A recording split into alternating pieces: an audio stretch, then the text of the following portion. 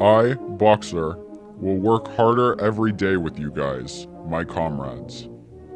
With all our might, we can do anything. You can put all your faith in me. Our leaders always know what's best. We will all be equal, including myself. No one will have more or less than another. I promise you rest. I promise you, you can stop working when your bones are frail and weak. There will be less work hours so you can spend time with family. Everyone's health will be evaluated so you won't have to suffer what I did. Months from now, we could all be living peacefully without Mr. Jones. Everyone will love going to work. Thank you, comrades.